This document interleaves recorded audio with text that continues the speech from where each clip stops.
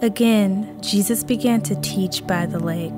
The crowd that gathered around him was so large that he got into a boat and sat in it on the lake, while all the people were along the shore at the water's edge. He taught them many things by parables, and in his teaching said, Listen, a farmer went out to sow his seed.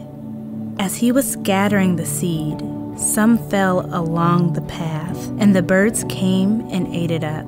Some fell on rocky places where it did not have much soil. It sprang up quickly because the soil was shallow. But when the sun came up, the plants were scorched, and they withered because they had no root. Other seed fell among thorns, which grew up and choked the plants, so they did not bear grain. Still, other seed fell on good soil.